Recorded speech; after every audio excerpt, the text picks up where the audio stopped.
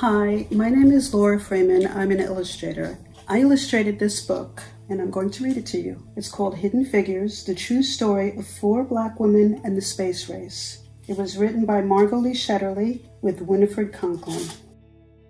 Dorothy Vaughan, Mary Jackson, Katherine Johnson, and Christine Darden were good at math. Really good.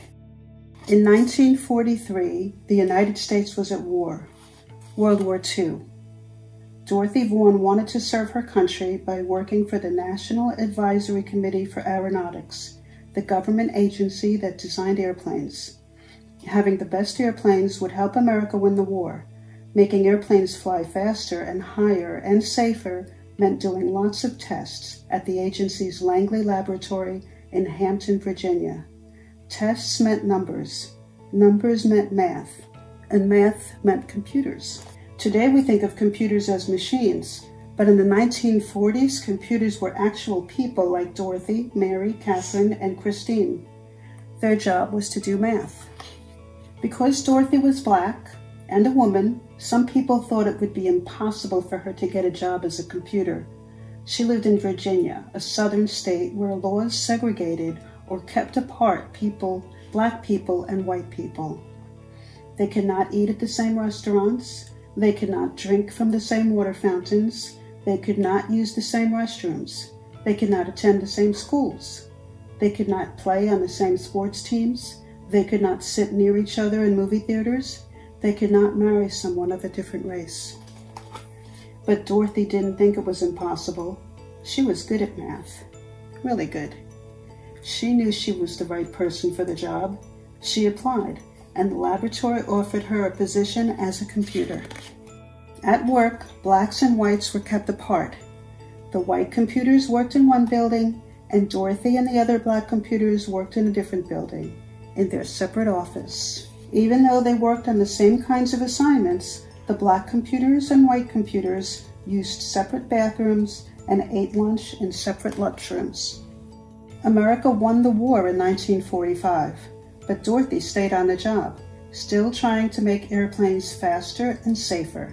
By 1951, the Americans and the Russians were competing to see who could build the best planes. That meant more experiments and more numbers, lots and lots of numbers. And more numbers meant the need for more computers. That's when Mary Jackson got a job as a computer at Langley.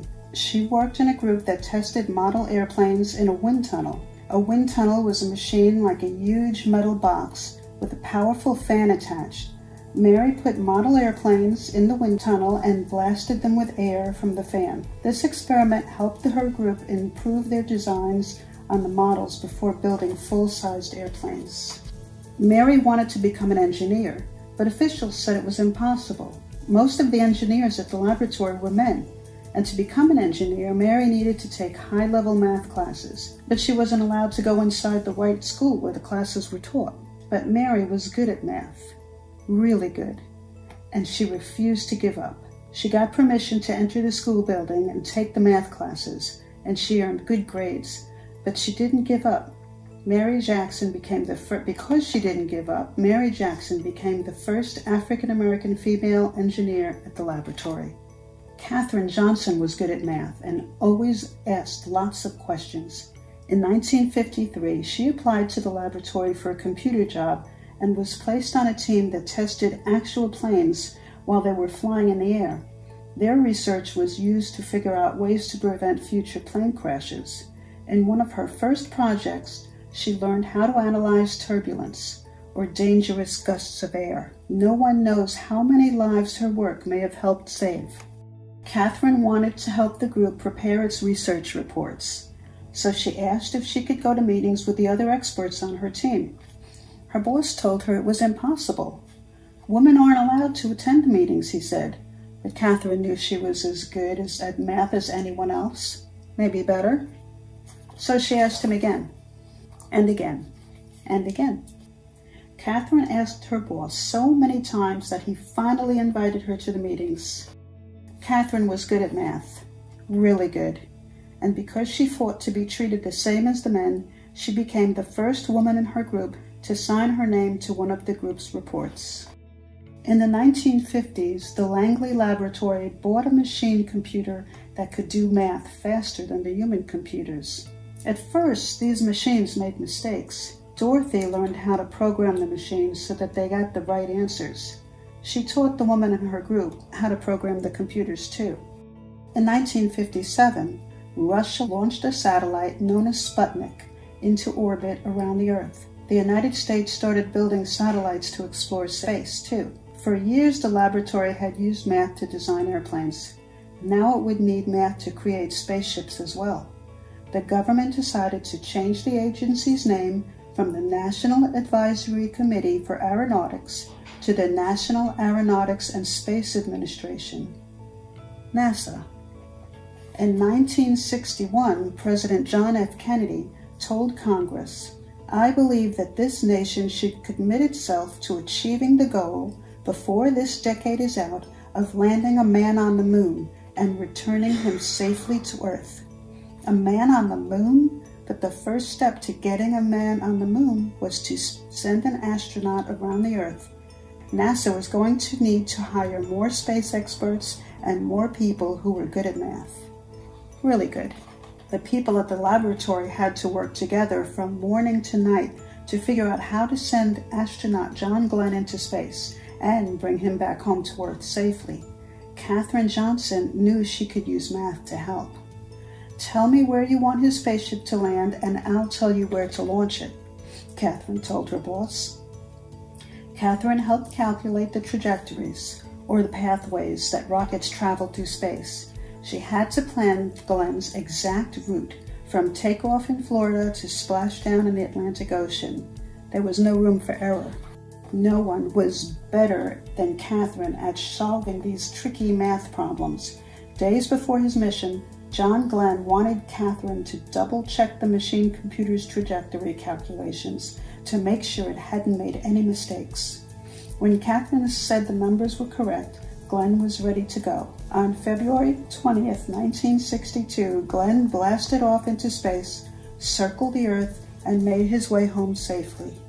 Meanwhile, laws began to change so that black and white students could go to school together. Blacks fought for the right to sit beside whites on buses and to drink from the same water fountains.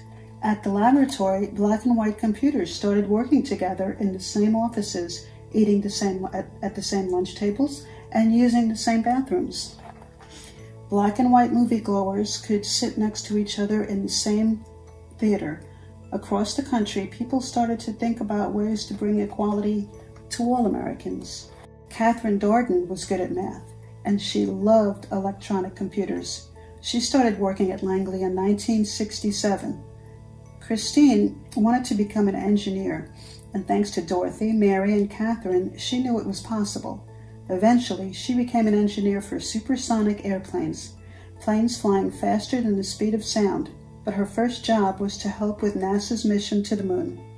The people at the laboratory prepared for years to send astronauts to the moon, about 238,900 miles away from the Earth. Finally, on July 20th, 1969, the world watched as the three men arrived at the moon in their Apollo 11 spacecraft. That's one small step for man, and one giant leap for mankind, said astronaut Neil Armstrong when he stepped into the dusty surface. But it was also a giant leap for Dorothy, Mary, Katherine, and Christine, and all of the other computers and engineers who had worked at the laboratory over the years. The moon landing was a success from takeoff to splashdown, but there was no time to rest. Once NASA landed astronauts on the moon, the people at the laboratory began dreaming of sending humans to other planets such as Mars or Jupiter or Saturn. They started to imagine hyperfast space planes that could travel around the Earth at seven times the speed of sound. The next adventure wouldn't be easy and would require lots of tests and lots of numbers. But Dorothy, Mary, Katherine, and Christine knew one thing. With hard work, perseverance, and a love of math, anything was possible.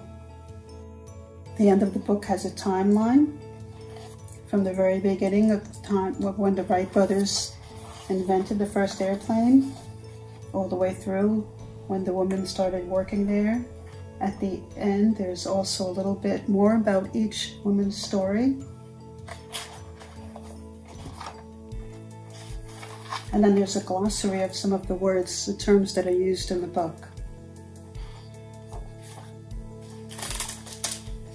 I hope you enjoyed my book, and I'll see you next time.